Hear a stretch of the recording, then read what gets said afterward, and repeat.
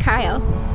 Four years ago, I took a chance and a leap of faith. Little did I know it was going to be the best decision of my life, and it was going to lead me on the most beautiful and fun adventure with you.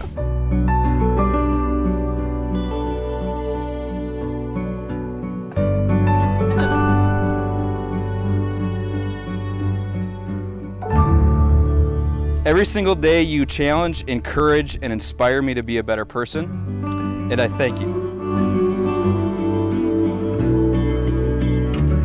Cannot remember what life was like without you. What I do know is you make my life better.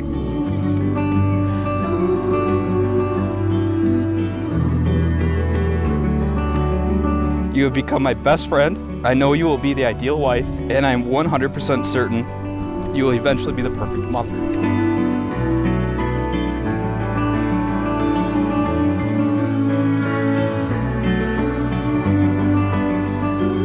Are my calm and my rock. You bring balance to my life. That's your pretty Jessie. For you.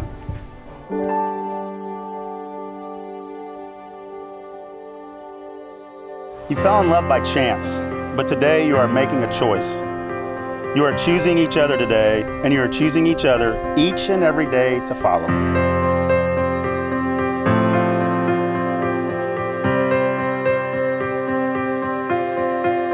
I vow to you that I will be your best friend, and I vow to work towards being the ideal husband, and I vow and honor to cherish you every day.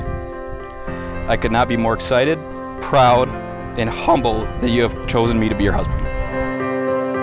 Kyle, I promise to honor and cherish you. I promise to always be faithful to you and choose you each and every day.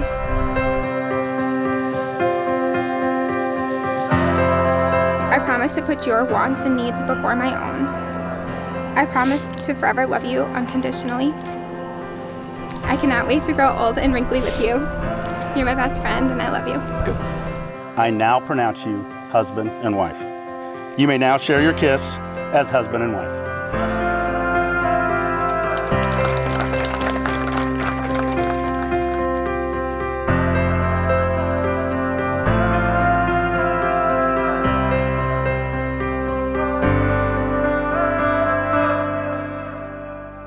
Kyle, I think you're such a lucky guy to be with Jess, but I think she's just as lucky to be with you.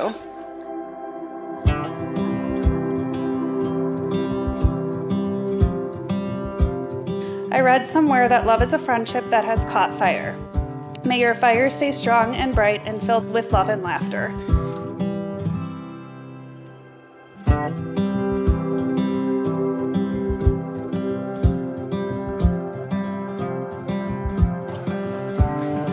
Someone once told me that marriage is not about finding a person you can live with, it's about finding the person you can't live without.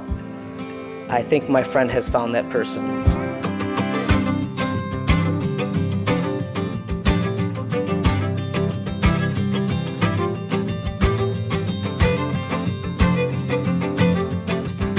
There was no doubt in my mind, Jess.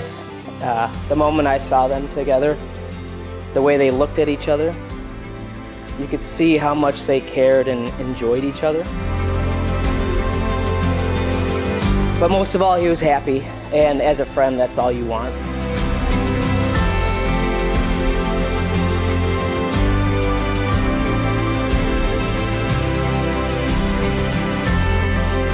If you could all raise your glasses and toast to Mr. and Mrs. Hakenin, may you both be blessed with a life full of joy, happiness, and respect for one another. Cheers.